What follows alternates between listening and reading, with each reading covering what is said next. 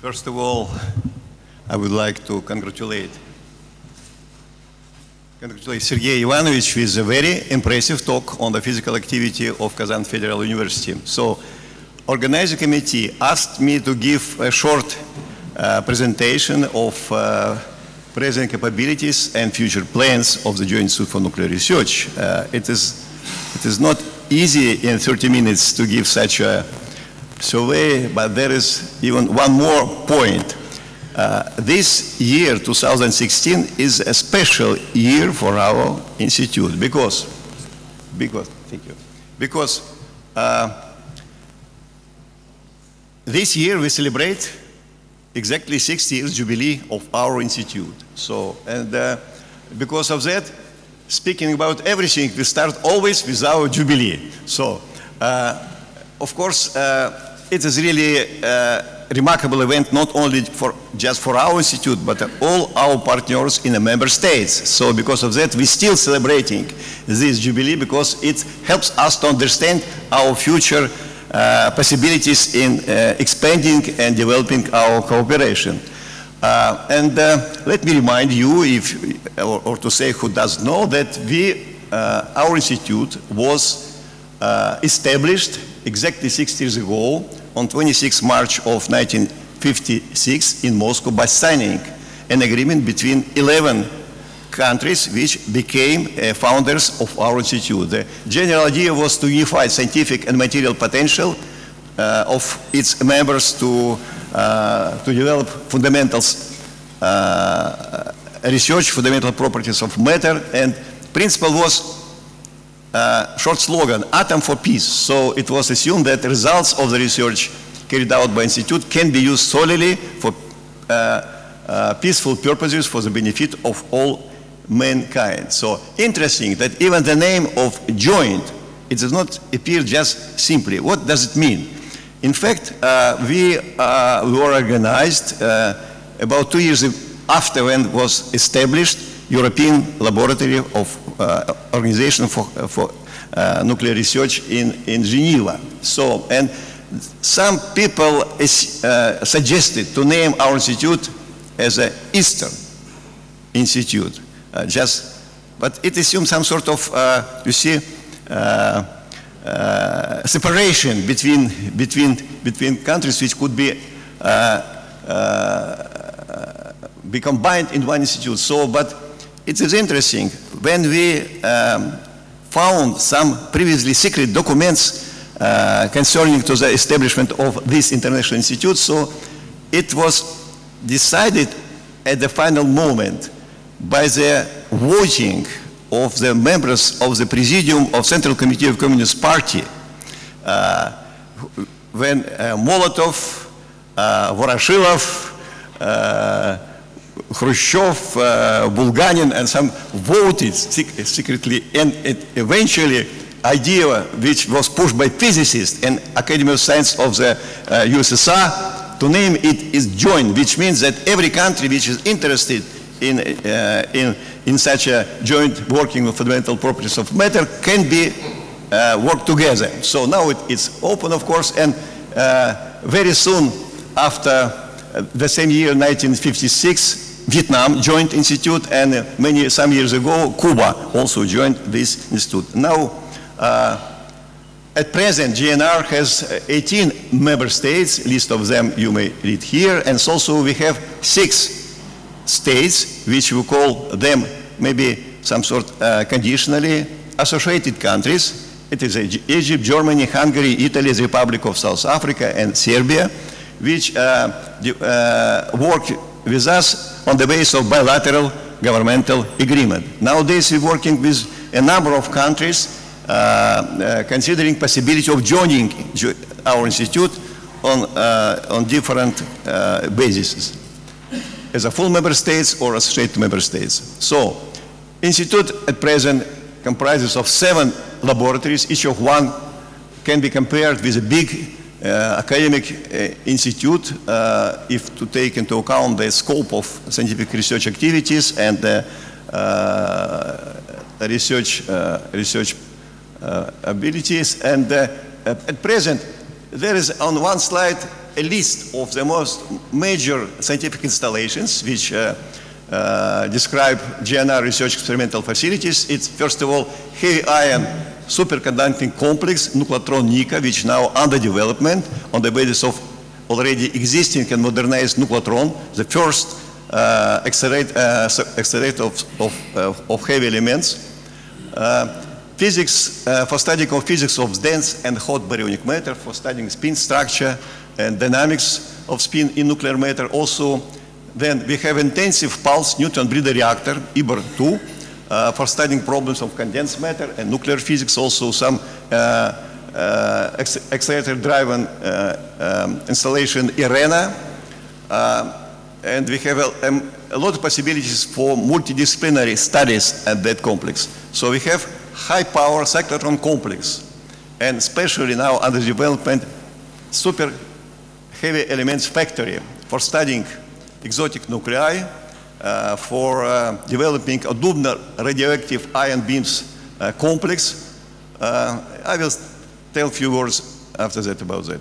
Also, we have complex of computing and informational technologies. It is nowadays considered as one of the major part of uh, our activities. And uh, th there is mentioned, mentioned tier one grid complex for which works for uh, LHC, first of all, for CMS, for example, uh, international project completely uses this tier one complex. So, and also developing another uh, uh possibility which uh, connected with the studies of so-called big data uh, pro problem. Then neutrino gigaton volume detector at Lake Baikal, it's, it is one of the um, developing for, experimental facility on the territory of Russia at, at Baikal. So, and also some specially very interesting neutrino uh, laboratory at Kalinin Atomic Power Station, in, uh, in, which is uh, very close to the Dubna, and uh, in, uh, uh, allows one to work in a very special conditions when only we may put our detectors at, at the distance also about one, 10 meters from the core of the reactor. We have an, a number of facilities, accelerator facilities, uh, for radiobiology, medical studies, especially for hadron therapy, for the new direction of activity, astrobiology, and uh, which already worked and, and uh, we work further on the cosmic medicine problems. Uh, we worked last seven years on the basis of seven-year plan of JINR development, which was approved. And it is interesting that the member states uh, approving this plan uh, uh, uh, stated that um, budget of institute has to, to increase annually by 14, 15%. It was fulfilled during these years, and so we achieved now a budget uh, on a level of about uh, 200 millions per year, uh, millions of dollars, I mean. And now we are preparing to, we, we developed and preparing to for consideration and approval by the Committee of Plenipotentiaries of the governmental, of governments of member states uh, at the end of this year the new seven-year plan for the years from 2017 to 2023. We also have special international working group on study of JINR long-range strategy up to the 2030. And uh, there is a number of, uh, of uh, major, major goals. And one of them, maybe flagship project of in high energy physics for, of our institute for the next seven years is a completion of uh, superconducting uh, collider of heavy ions, NICA. Uh, it is really frontier of achieving uh, highest possible baryon density. Uh, uh, and very shortly, I, I think there will be some talks on, on, that, so very shortly on this complex, which is on the plan shown here, it is what is already exists as Nuclotron uh, complex, but uh, new elements which has to be uh, constructed and now in production uh, are shown here. And uh, this is devoted to the study, for the study of the principally new phase state of the nuclear matter, so-called uh, gluon plasma, which is super dense and hot baryonic matter. which was produced, as physicists believed, at the, uh, at the birth of our universe, universe by the Big Bang. And so uh, it consists of uh, some, we have a special zone for the fixed target experiments at the initial stage, and then the collider and the major detector, multipurpose detector, MPD, now under very short development. Um, I should, would say that, of course, we know that it already acting in the world two uh, big uh, accelerators, complexes, colliders uh, at BNL in the USA and in CERN, which study physics of, uh, of, uh, uh, of heavy ion collisions. So, and, and also two new project, FAIR in Darmstadt and GSI Institute and NICA in Dubna. Uh, but let, let to say that uh, NICA, as physicists indicate, has the most interesting energy uh, diapason corresponding to the region of the maximal density of baryonic and nuclear matter, which nobody has yet achieved in laboratories. Uh, and the main goal is to study the critical phenomena and uh, uh, possible of phase transition happens to appear in the early universe and presumably exist in the neutron star. And two new uh, now developing projects, FAIR, international projects, FAIR in Darmstadt and NICA in Dubna, in fact, are like uh, developing like like uh, one international distributed projects. They, uh, um, uh, they uh, in fact, um, already have very interesting history of, co of cooperation and um, and our project NICA is in fact already very well developed international cooperation, uh, collaboration uh, having a basis. So you may see countries and, uh, uh, and laboratories, institutions which are already joined this project.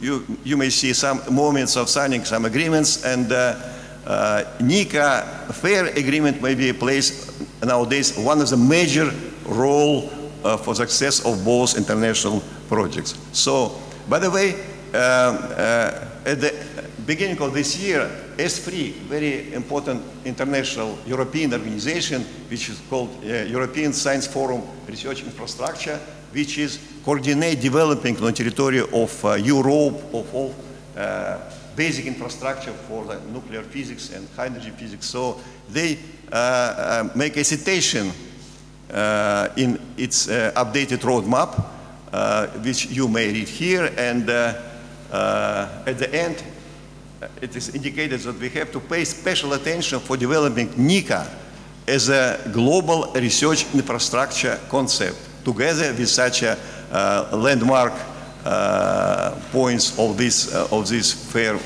roadmap as as as FAIR as um, as Spiral 2 and others. So, by the way, by the, as a result of special consideration by the high uh, Russian, uh, uh, Federal Russian uh, Government Commission, it was decided that NICA can become a mega science project to be realized, international mega science project to be realized on the territory of Russia if a number of countries will join this project uh, uh, bringing special additional contributions. So, and because of that, as one of the one of results of this of that uh, possibilities, let me quote the quadri uh, uh, four-side protocol signed in China.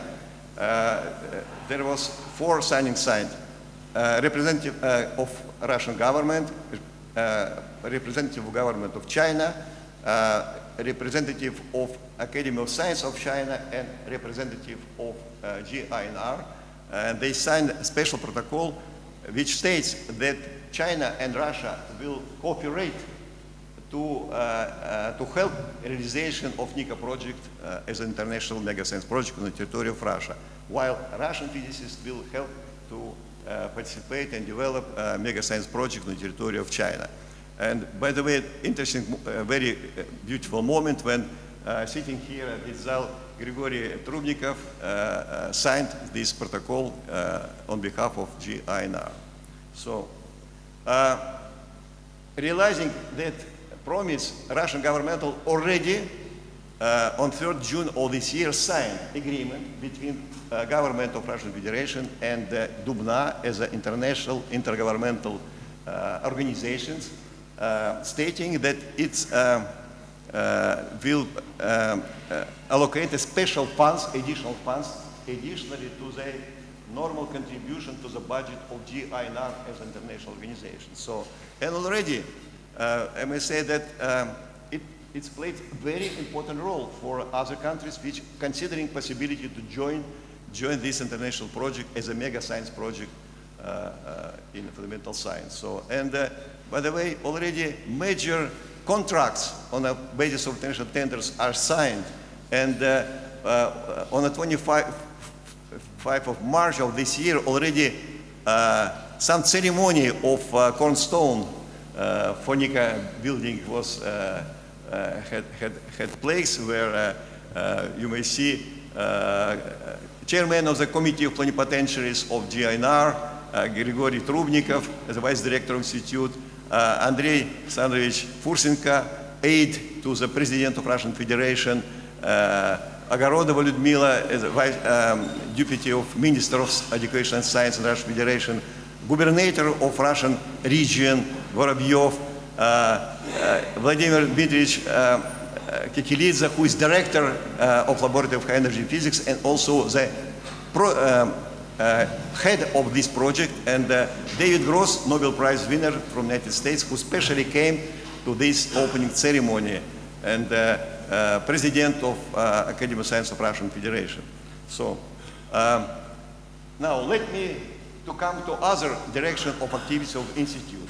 Uh, of course, we, our laboratory of nuclear reactions, Flerov Laboratory, and our institute are famous in the world in the quest for the island of stability for super heavy elements. And already everybody of you, I hope, knows that uh, International Union for Pure and Applied Chemistry already at the very end of the last year announced uh, uh, the approval of discovery of new elements, four of them written here, so, and uh, indicated priority for discovery uh, of elements which is assigned to the following col co collaborations. And uh, on 8th June of this year, uh, it was already stated provisional recommendations for the naming elements uh, indicated here. So on 8th of November, presumably there will be five months public, uh, finished five months public review period.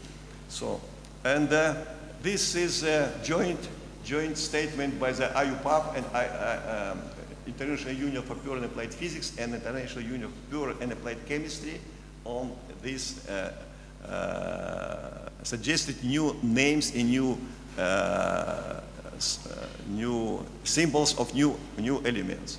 And uh, uh, let me to quote uh, President of Division 2 of International Union for Pure Applied Chemistry, Jan Reedijk, uh, who told that I expect that around November 8th, Division 2, it connected with Inorganic Chemistry Division of uh, IUPAC, will consider all the comments and make a final decision on the text of the provisional paper dated June 8 to make it final so that the IUPAC Bureau can soon the, decide on the final names and symbols of the new elements. By the way, let me just to, uh, to, to, uh, to remind you that uh, uh, three years ago in Moscow in October there was inauguration uh, ceremony for the naming three new, uh, uh, two new elements, flerovium and livermorium. So it's finished. Now we are, have to pre be prepared for the new inauguration ceremony for naming three new elements. It is expected maybe beginning of the next year. Uh, if it will happen, so we will have such a view of the uh, of this part of the periodic uh, table of Mendeleev uh, of uh, Mendeleev tables. So, and I think we are very honored that discussing these things we can have nearby one of the uh, leader of this of that of that studies which uh, with his colleagues made possible that discovery. So let's congratulate him with that uh, really remarkable. We all are very proud that we are living together, with- work together with him. So uh, I'd like to say that physics of super heavy elements is in fact also triumph of Mendeleev periodic law connecting the chemical properties of elements with their atomic numbers. So, but life is not stay, uh, stayed on a, on a place. So we are developing a super heavy element which will allow to produce uh, super heavy elements not in units but in tens and hundreds maybe to study carefully their properties, their structure, their chemical properties especially, so are under development. And you may see now it is in this, in August 21, uh, this house, this uh, special experimental building for which will house uh, new, most powerful uh, cyclotron DC-280 uh, and new uh, um, spectrometers for studying these problems. So we uh, promise that uh, after finishing all that, first experiments on new super heavy elements on this factory will be done in uh, 2018. Uh, I will not speak about this cyclotron because it, it, I will no time for that, but just show you that major uh, elements for the big, uh, big magnets of the cyclotron already produced by the way, they produce in Ukraine and they will deliver to Dubna. And uh, cyclotron itself already almost on 98%, but we still, uh, this autumn we will uh, uh, start installation of the elements in an experimental building. Now, new direction of activity. It's uh, condensed matter physics and nuclear physics on, with the using of neutron beams uh, produced on a pulse reactor with fast neutrons. So you may, these uh, characteristics uh, are realized and this reactor works very stable way, so very successfully and uh, IBR-2 is included presently in the two years European strategic research program in the field of neutron, neutron scattering. So it is, uh, it is used for mostly in many, for many directions and one of them of course is multidisciplinary uh, studies in many directions. So and uh, it is very well developing. Also, we have a program for developing all that complex, especially uh, uh, working on uh, cryogenic moderators and also increasing and developing park of spectrometers. So, and because of that, every year uh, we uh, using neutron beams of this complex, we, uh, we realized about 200 proposals, considering 200 proposals from all the world for making experiments of the neutron beams of this factory, and about 70% uh, of this proposal are uh, realized. choice is done by Special International Commission. Another direction, neutrino. By the way, let me to remind you that last year, 6 October, Nobel Committee announced Nobel Prize in Physics, which was uh, decided for uh, uh, two very well known to us, our colleagues, uh, Kajita-san from, uh, from Japan, which is the head of Super Kamiokande collaboration, and uh, Arthur McDonald uh, from uh, Sudbury Neutrino Observatory. What was the result mentioned by this Nobel Prize? It was experimental approval of uh, that neutrino oscillations exist. It is a, was also a big day for Dubna as hypothesis for the neutrino oscillation has been introduced in science by Bruno Pontecorvo in Dubna more than 50 years ago, 1956. Of course, because of that, it is not, uh, it is not um, strange that, of course, we have very extensive neutrino program in our institute. And one of them belong participating in a major global neutrino projects in the world. Also, it is a uh, developing uh, our own basic facility, now gigaton volume detector at Lake Baikal, and also building special neutrino laboratory uh, at the Kalinin neutron, uh, atomic power station.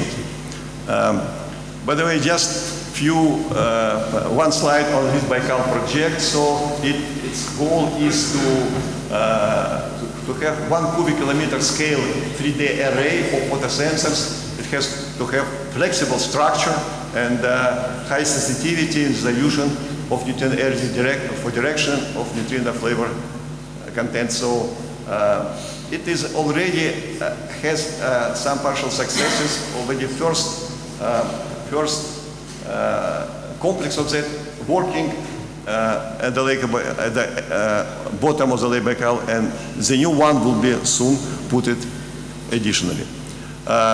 Uh, radiation biology is one of the traditional uh, direction of our institute. I just mentioned that because it has new uh, activity in uh, cosmic medicine. If previously it, uh, Dubna contributed a lot in the realization of the first man uh, flight to cosmos, Gagarin flight. In fact, it's our institute worked on the medical problems of that, and now we are actively working on a project man flying to Mars. It's much more complicated problems, and this laboratory work on that. Astrobiology, I have no time to develop that, but it is a study of uh, uh, problems uh, connected with the problem of origin of life on the Earth. Uh, infrastructure uh, of uh, information technology infrastructure Institute considered to be one of the major part of our activities. I will not speak about that many, but want to say that last year uh, there was inauguration of start of Tier 1 grid complex, which is now working for the uh, LHC, specifically for CMS project, and uh, it is now has uh, maybe uh, it is one of these three in Europe, and uh, by the quality. And this last month I received a signal that it got maybe highest after, after CERN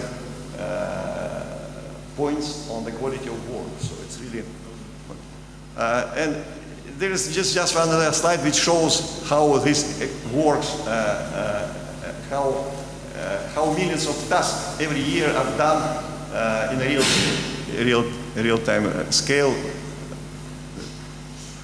Now, theoretical physics, of course, it's very important part of our institute, but it's very difficult to, to, to describe how it was. Of course, yeah, uh, founders of that uh, laboratory, Bogolyubov and uh, his colleague uh, of course, uh, introduced a very important, uh, important ideas in the, in the basis of that laboratory. And of course, this laboratory contributed a lot in the success of zero. Uh, uh, and the success of uh, standard model for elementary particles. And uh, very shortly, we have celebrate also 25 years of our scientific university center of our institute, which now contributes a lot on, on looking for talented people, preparing them, including engineers. So uh, JINR teams participate in many international and world global projects uh, I will not speak about that because it's a lot, but we really contribute intellectually and uh, materially in, in, this, uh, in this international project. So, and of course we consider as a very important problem for us is uh, expanding horizons of interactions. And this just on one slide, I will illustrate maybe uh, one of the direction of these activities, working uh, and having scientific forums on the territory of, of Dubna with participation from Brazil and India, uh, uh, researchers from China, from Turkey, uh, from cluster of countries from uh, Latin America and President Montenegro. So, and we very much hope that our uh, uh, circle of countries under which, under one roof of our institute will increase. So, welcome Dubna also for those who never been there, I would like to say we are would be very glad if you, you will uh, have a desire to visit us and consider the possibility of developing interaction. It's very also uh, glad to say that we are coming to member states and meeting people who already passed uh, their studies or work in Dubna. We, heard, we hear from them. They consider JINR in Dubna as our common house on the bank of the great Russian river Volga. So thank you for attention.